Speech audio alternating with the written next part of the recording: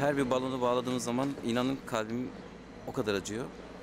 Şimdiye kadar yaklaşık 1000-1500 tane kadar balon bağladık ama şehrin her yerine, hayatını kaybetmiş her çocuğun evine ulaşana kadar devam edeceğiz inşallah.